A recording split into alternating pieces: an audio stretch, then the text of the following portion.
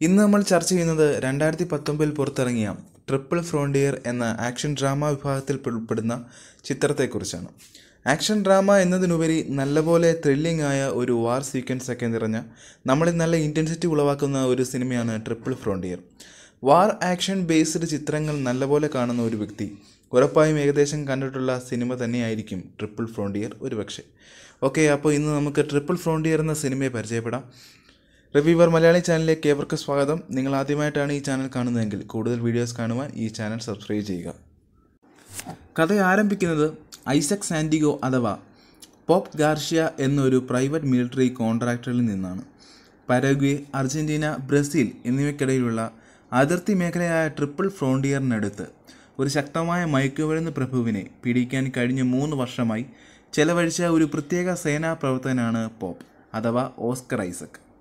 തനിക്ക് വിവരം നൽകുന്നയാൾ അവരുടെ കാര്യങ്ങൾ എവിടെയാണെന്ന് മാത്രമല്ല അവരുടെ ദശലക്ഷക്കണക്കിന് പണം സൂക്ഷിക്കുന്നത് അവരുടെ വീട്ടിൽ തന്നെയാണെന്നും വെളിപ്പെടുത്തുമ്പോൾ പോപ്പ് ഒരു പദ്ധതി തയ്യാറാക്കുന്നു. പുസ്തകം ഉപയോഗിച്ച് ചെയ്യുന്നതിന് പകരം അദ്ദേഹം തന്റെ പഴയ സഹപ്രവർത്തകരെ ഇപ്പോൾ യു എസിൽ തിരിച്ചെത്തി സാധാരണ ജീവിതം നയിക്കാൻ ശ്രമിക്കുന്ന തന്റെ ടൂട്ടുകാരെ ഈ പദ്ധതിയിലേക്ക് ക്ഷണിക്കുന്നു. പദ്ധതി വികസിക്കുമ്പോൾ പരസ്പരം പരസ്പരമുള്ള അവരുടെ വിശ്വസ്തത പരീക്ഷിക്കപ്പെടുന്നു. ജെ സി ചാന്തോർ സംവിധാനം ചെയ്ത മാർക്ക് ബൗലുമായി തിരക്കഥ ഒരുക്കിയ സിനിമയാണ് ട്രിപ്പിൾ ഫ്രോണ്ടിയർ. ഹർട്ട് ലോക്കർ എന്ന ഓസ്കർ വിന്നിംഗ് സിനിമയുടെ അണിയറ പ്രവർത്തകനാണ് Mark Boal ex special force unit soldiers അവരുടെ കരിയറിൽ ആദ്യമായി തന്റെ രാജ്യത്തിന് വേണ്ടിയല്ലാതെ അവർക്ക് വേണ്ടി വളരെ റിസ്കി ആയിട്ടുള്ള ഒരു മിഷനിലേക്ക് കടക്കുന്നു. എന്നാൽ അവർ പ്രതീക്ഷിച്ചതിലപ്പുറം സംഭവങ്ങൾ കുഴഞ്ഞു മറിയുന്നു അവരുടെ മൊറാലിറ്റി ലോയൽറ്റി ഒക്കെ അവർക്ക് അവിടെ നഷ്ടപ്പെടുന്നു. ജീവിക്കാൻ വേണ്ടിയുള്ള ഒരു സർവൈവൽ ത്രില്ലർ തന്നെയായി പിന്നീട് ഈ കഥ കഥ പരിണമിക്കുന്നു. തെക്കേ അമേരിക്കയിലെ വഞ്ചനാപരമായ വിഭാഗത്തിൽ സ്പെഷ്യൽ ഓപ്സ് ബാഡ് ആസുകൾ ഒന്നിനു പുറകെ ഒന്നായി സഞ്ചരിക്കാൻ പാടുപെടുന്നു. അത് ചിത്രത്തിന് അതിന്റെ തലക്കെട്ട് നൽകുന്നു. പെരവുഗെ ബ്രസീൽ അർജന്റീന എന്നിവ പെരാന നദിയിലെ ഒരു വളവിൽ കണ്ടുമുട്ടുന്ന സ്ഥലമാണ് ട്രിപ്പിൾ ഫ്രോണ്ടിയർ. സിനിമയിലുടനീളം ഓരോ സ്റ്റെപ്പിലും ജീവിക്കുമോ മരിക്കുമോ എന്നൊരു സാഹചര്യം കഥയിൽ പുലർത്തുന്നു. ആൻഡസിന് മുകളിലൂടെയുള്ള ഹെലികോപ്റ്റർ റൈഡ് വളരെ ഉദ്യോഗജനകമായ ഭാഗങ്ങളാണ്. കഥയിൽ നമ്മുടെ ഹീറോസ് അനുഭവിക്കുന്ന സിറ്റുവേഷൻസ് കണക്കുകൂട്ടുമ്പോൾ ഈ ത്യാഗങ്ങളൊക്കെ അവർക്ക് ഗുണമാണോ എന്ന് ചിന്തിപ്പിക്കുന്നു. കാര്യങ്ങൾ കൈവിട്ടു പോകുമ്പോൾ അവരുടെ സ്ട്രെസ് കൂടുകയും അവർ തമ്മിൽ തമ്മിലുള്ള കൺട്രോൾ പോവുകയും ചെയ്യുന്ന നിമിഷങ്ങൾ. ഏറ്റവും ബെസ്റ്റായിട്ട് നമുക്ക് തോന്നുന്നത് കഥയിൽ കഥാപാത്രങ്ങളുടെ ബെസ്റ്റ് ആൻഡ് വേഴ്സ്റ്റ് സീക്വൻസുകൾ നമുക്ക് കാണിച്ചു തരാൻ സാധിക്കുന്നു. കഥാപാത്രങ്ങളെപ്പോലെ തന്നെ ചലച്ചിത്ര നിർമ്മാതാക്കളുടെ പ്രചോദനവും സമാനമാണ്. ഈ നിബന്ധനകൾ കണക്കിലെടുക്കുമ്പോൾ ഇത് രണ്ട് മണിക്കൂർ ചെലവഴിക്കാനുള്ള മതിയായ ആസ്വാദികരമായ മാർഗമാണ്. പക്ഷേ യാതൊരു വ്യാഖ്യാനമോ യഥാർത്ഥ ആഴമോ ഇല്ലാതെ ചക്രങ്ങൾക്ക് ശരിക്കും എണ്ണം നൽകുന്നതിന് കുറച്ചുകൂടി സസ്പെൻസോ വൈരുദ്ധ്യമോ ആവശ്യമാണ്. തട്ടിപ്പിനുള്ള ബിൽഡപ്പ് ലോജിസ്റ്റിക്സിനെ കുറിച്ച് വളരെ വിശദമായി വിവരിച്ചിട്ടുണ്ടെങ്കിലും ക്യാരക്ടറൈസേഷൻ വളരെ കുറവാണ്.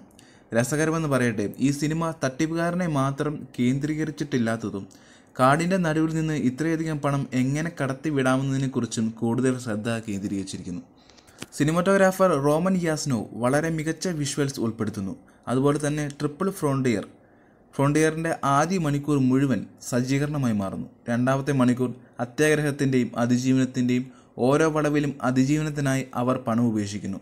എന്നാൽ അത് ഉപേക്ഷിക്കാൻ അവർ തയ്യാറാണോ? ഇതെല്ലാം ഒരു മഹത്തായ അർത്ഥതലങ്ങളിലേക്ക് അവതരിപ്പിക്കപ്പെടുന്നു. പക്ഷേ മൂവിയെ ഓടിക്കുന്ന ഒരേ ഒരു കാര്യം അതാണ്. അതുകൊണ്ടാണ് ഇത് പ്ലോഡിംഗ് ആയി മാറുന്നത്. പണം പിന്തുടരുന്നത് മരണത്തെ സ്വീകരിക്കുന്നതിനുള്ള ഒരു മാർഗമായി മാറുന്നു. അതുപോലെ തന്നെ പണം ഉപേക്ഷിക്കുന്നത് ജീവിതത്തെ സ്വീകരിക്കുന്നതിനുള്ള ഒരു മാർഗമായി മാറുന്നു. നല്ല സിനിമാറ്റോഗ്രാഫി വിഷ്വൽസ് ഒക്കെ കാണാൻ സാധിക്കുന്നു. കഥ നല്ല ത്രില്ലിംഗ് സർവൈവൽ ആണ്. അതിനപ്പുറം നല്ല ഇൻട്രസ്റ്റിങ്ങും ആണ്. വലിയൊരു കഥാ പ്ലോട്ട് ഈ സിനിമയ്ക്കില്ല. അതുപോലെ തന്നെ അത്ര വെറൈറ്റി ആയിട്ടുള്ള ക്ലൈമാക്സ് അല്ല. പക്ഷേ തൃപ്തികരം തന്നെയാണ് ക്ലൈമാക്സ് എന്നാലും ഒരു ആവറേജ് മൂഡ് തന്നെയാണ് സിനിമ സ്റ്റോറിക്ക് നമുക്ക് കാണാൻ സാധിക്കുന്നത്. നിങ്ങൾക്ക് നല്ലൊരു വാർ ആക്ഷൻ ഡ്രാമ ഗണത്തിൽ ഉൾപ്പെടുന്ന ഒരു സിനിമ കാണണമെങ്കിൽ ഉറപ്പായും ഈ സിനിമ കാണാം. എന്തായാലും ഈ സിനിമ കാണാത്തവരുണ്ടെങ്കിൽ സിനിമ തീർച്ചയായും കാണണം. ഈ സിനിമ കണ്ടവർ താഴെ കമന്റ് ബോക്സിൽ നിങ്ങളുടെ വിലയേറെ കമന്റുകൾ രേഖപ്പെടുത്തുക. അതുപോലെ തന്നെ ഞങ്ങൾ റിവ്യൂ ചെയ്യണമെന്ന് ആഗ്രഹിക്കുന്ന സിനിമകളോ സീരീസുകളോ നിങ്ങൾ കമന്റ്സിൽ ഉൾപ്പെടുത്താം. ഇതുപോലെയുള്ള പുതിയ സീരീസുകളും ഹോളിവുഡ് സിനിമകളുടെ മലയാളം റിവ്യൂവിനും റിവ്യൂവർ മലയാളി ചാനൽ സബ്സ്ക്രൈബ് ചെയ്യുക ഇഷ്ടപ്പെട്ടാൽ ലൈക്കും ചെയ്യുക. നന്ദി.